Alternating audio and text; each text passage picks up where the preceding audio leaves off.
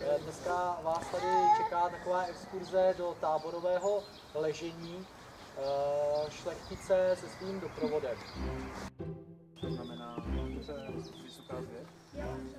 Jelenci, centi, laně, Eva veliká, kdy se vařilo ve velikém kotli, a aby se to dalo umíchat. Žádný kastrom není, to je silva. Tak je smutej no. A když se do něj naleje olej, pak se nasákne. No,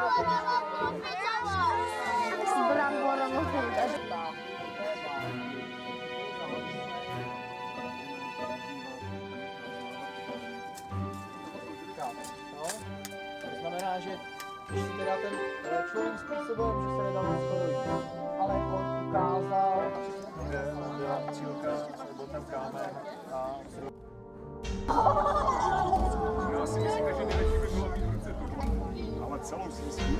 Ja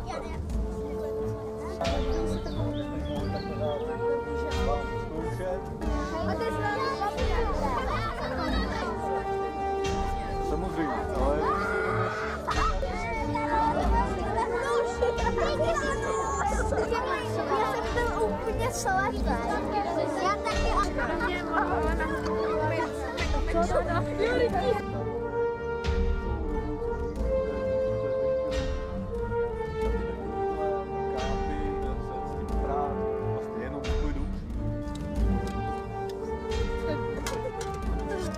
Karten was auf die Nacht Ohr, ja, mit denen können wir hier kommen beide nicht mehr.